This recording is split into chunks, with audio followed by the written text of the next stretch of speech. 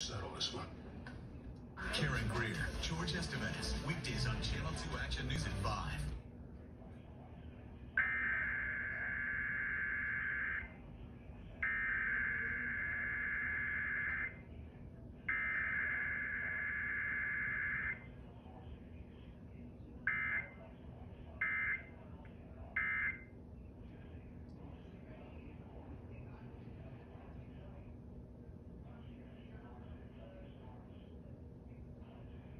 This concludes this EAS test.